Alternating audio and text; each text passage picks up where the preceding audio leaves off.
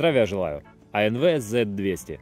Характеристики с сайта производителя. Общая длина 205 мм, длина клинка 85 мм, толщина клинка 3,5 мм, сталь N690, твердость 58 единиц, покрытие клинка DLC, рукоять G10, вес 102 грамма, замок Liner Lock, производитель Чехия. Перед началом теста видим, как упирается лайнер в клинок. Мне еще очень интересна стойкость этого покрытия. Нож не новый, предыдущий владелец строгал немного древесину им и видны такие, как небольшие потертости, скажем так. Ну и посмотрим, что же будет дальше с ним. Ну и перед тестом, как всегда, проверка на помидоре. Я его подправил слегка керамическим мусатом. Режет он, в принципе, хорошо. Стараюсь так без особого надавливания. Ну, практически под собственным весом. Видно, что врезается очень и очень. И поехали. И сразу первый момент по открыванию. Открывание у него предусмотрено как бы двурукое, но есть здесь такой дол в клинке. Э, на обзоре все это более детально расскажу. За него можно открывать как бы одной рукой. Если это делать не быстро, как бы так нормально, спокойно, без выбрасывания, то это в принципе удобно. Но если это делать, э, чтобы клинок именно выбросить, то это не совсем удобно, потому как ну, особо это для этого как бы не предназначено. Это если вот сильно нужно подворачивать кистью, э, даже вот, ну, два из двух, о, третий, не всегда это, в общем, получается. Нужно иметь в виду. Также лайнер отгибать в перчатке тоже не совсем удобно, потому как здесь выемка. Э, для того, чтобы его лучше было отгибать, не такая уж не сильно глубокая. И э, именно в перчатке прям так он проскальзывает. Без перчатки это делать намного лучше. В самом начале стяжка обычно пластиковая, сложенная вдвое. Ну, без проблем по-другому быть и не могло. Одинарная стяжка также вообще без проблем. Так, а вот что мне особенно нравится на тестах, это перерезание каната. 12-миллиметровый канат, ну и посмотрим, как он справится. Угу, как бы чуть под, подтормозил, что ли. Но перерезал. А ну-ка посмотрим, сложены вдвое. Перерезал. Да, с усилием, но перерезал. Очень даже неплохо. Следующая, сосновая доска поострогаем, посмотрим, насколько удобно это делать или нет.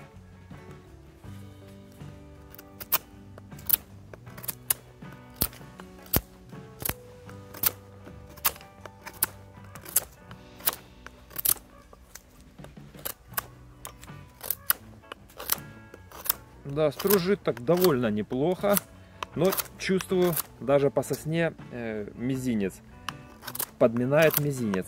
Сверху не давит в руку, в ладонь как-то я не ощущаю, но именно вот чувствуется, что поддавливает мизинец.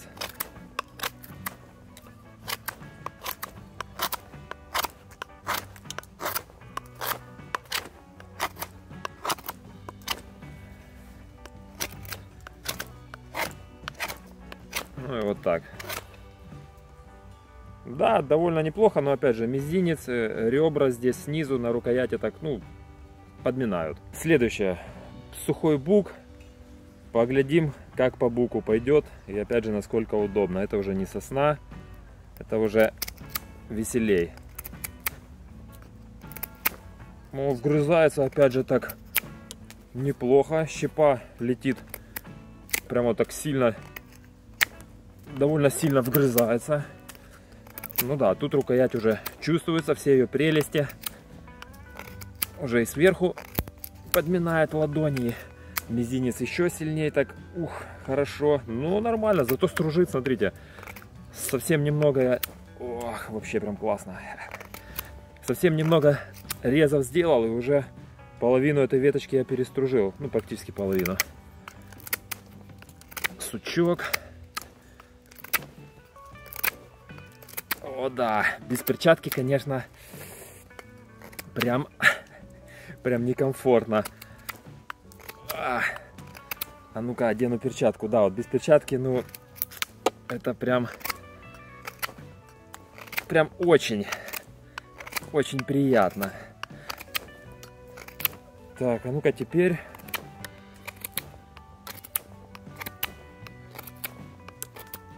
Да, даже в тоненькой перчатке прям намного лучше, но все равно вгрызается вообще прям, посмотрите, классно. Рукоять, да, не супер удобная, но вгрызается прям, блин, мне понравилось. Твердый сухой бук. Вообще отлично, прям отлично.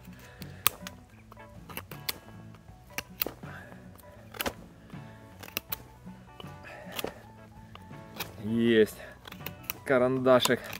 Да, очень хорошо. Теперь э, посмотрим, как он протыкает. Пластиковая баклажка. Кончик у ножа, кстати, так, ну, довольно острый, скажем так. Э, не, не шило прям, это не T-Light 6, как я часто сравниваю, но все равно довольно-таки острый. Поглядим.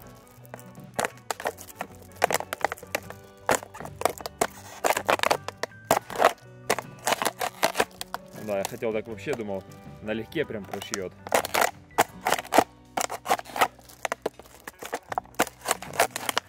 Да, прошивает, но опять же не шило.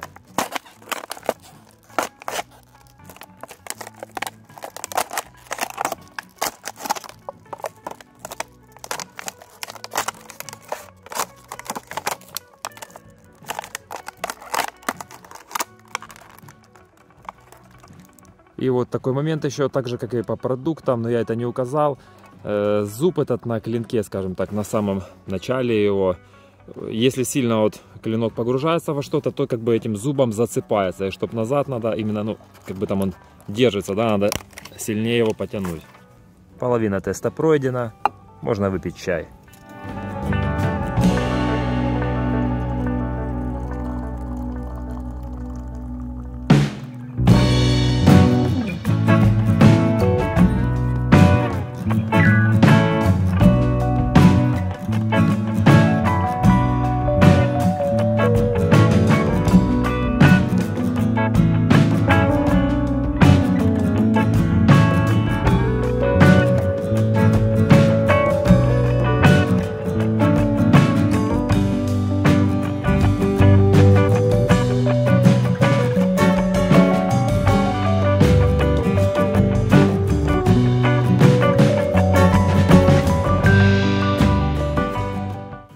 Далее, веревка. Просто порежу так, чисто подсадить кромку. Ну и вообще, просто, просто так. Да, нормально так прорезают, можно сказать, за один раз. Чуть-чуть остается там совсем. Да, почти, почти за один раз. Буквально какая-то там одно одна ниточка остается какая-то. Да, неплохо, неплохо режет.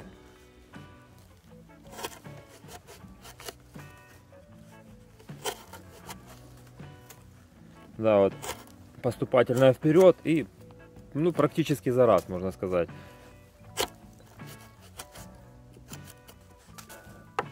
Для меня не менее интересно, чем перерезание каната на весу, это шланг. Ну-ка посмотрим. Кусочек маленький, держать неудобно. Поглядим, как он будет врезаться.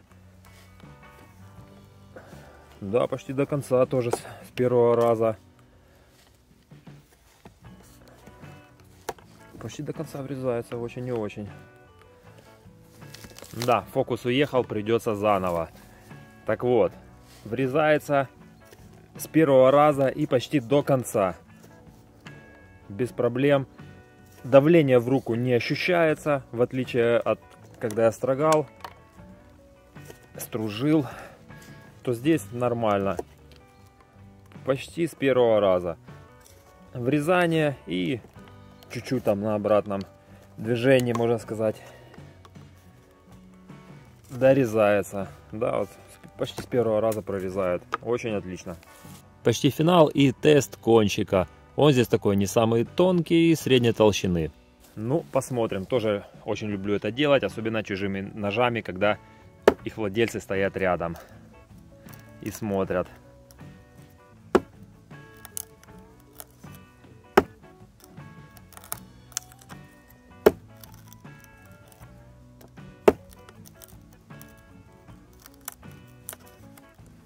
Да, потихоньку выламывает.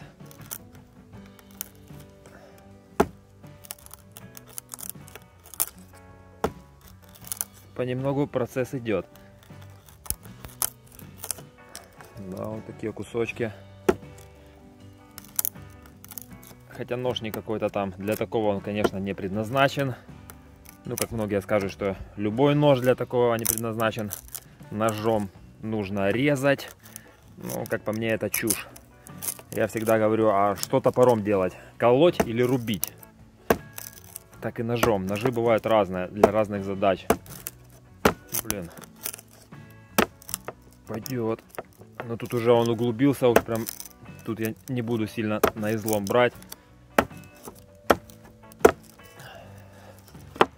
Почти насквозь. Да, щипа он отламывается нормально. Можно сказать, насквозь я его проковырял.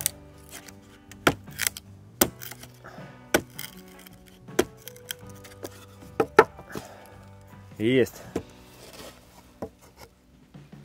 С кончиком клинка все нормально, никуда его не повело. На покрытии от этого всего остались такие небольшие потертости, но возможно это остатки пластиковой бутылки и всего прочего. Дома попробую тереть это все ластиком. Ну и проверим остроту на все том же помидоре. Все та же половинка. Врезается, но по-моему... Ну да, уже как-то под прям уж очень идеально он туда так не да, уже чуть-чуть надо несколько раз про него провести, тогда только клинок туда проходит.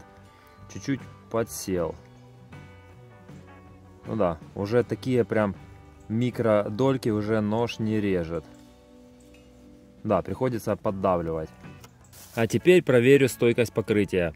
В этом мне поможет баночка чудесных бобов. Да, я знаю, что ножами нельзя открывать, конечно же, это все понятно. Здесь еще есть кольцо для открывания. Но мне интересно именно какая стойкость данного покрытия DLC. Оно, кстати, матовое, отпечатки на нем не остаются, но вот некоторые следы после дерева бутылки остались видны. Просьба отойти от экранов беременных женщин и ранимых нажиманов. Да, я не спец в открывании. Чаще я банки как-то разрываю.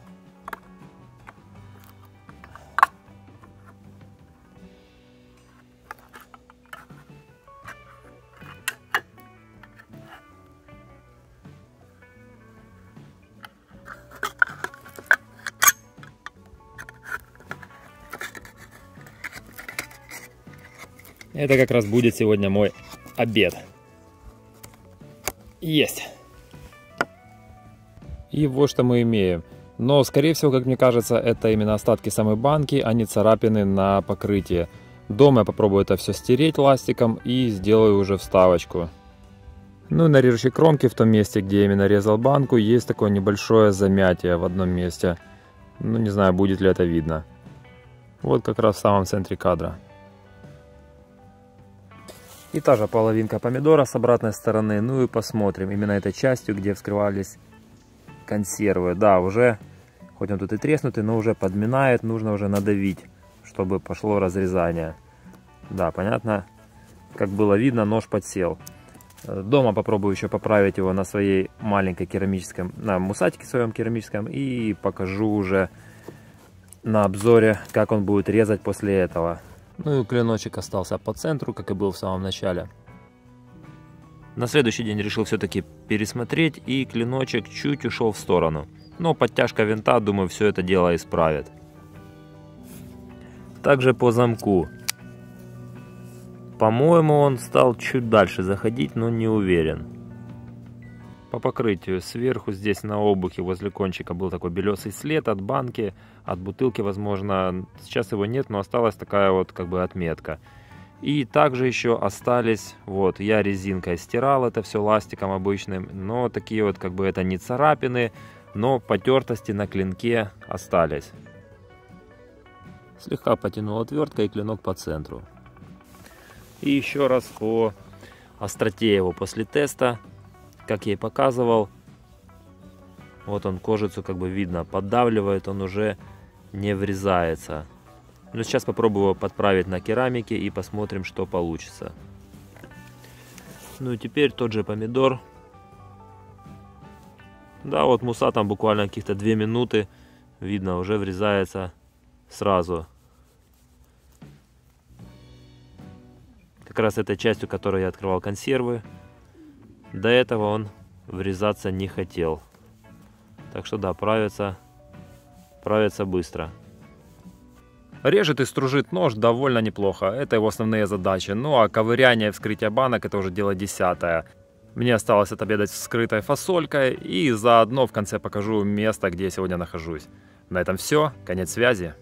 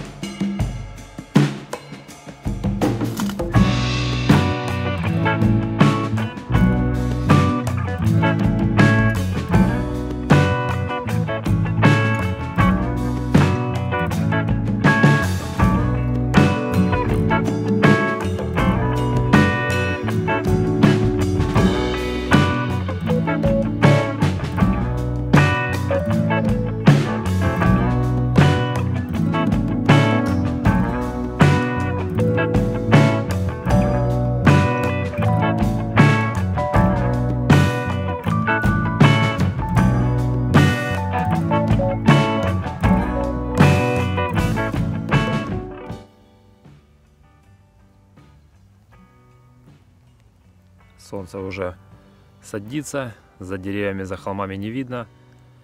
Кстати, это то место, где у нас не получился тест кухонного ножа Каи. Такое небольшое озерцо, окруженное со всех сторон холмами. Поэтому, когда я сюда шел, было так довольно ветрено, то здесь тихо, спокойно, как раз хорошее место для съемок. Иду обратно, съемки окончены. Уже возвращаюсь в полумраке. На основном телефоне батарея села. Выходил было 100%. Хорошо есть запасной, на всякий пожарный. Надо мной уже тут летучие мыши летают. Вон пронеслась. Еще мне так час по рельсам через лес.